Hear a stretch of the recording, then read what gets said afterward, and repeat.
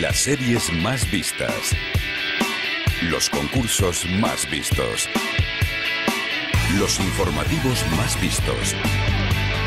El cine más visto. ¿Será porque no ponemos lo mismo mañana, tarde y noche?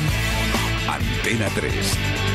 La televisión privada que más gusta a los españoles.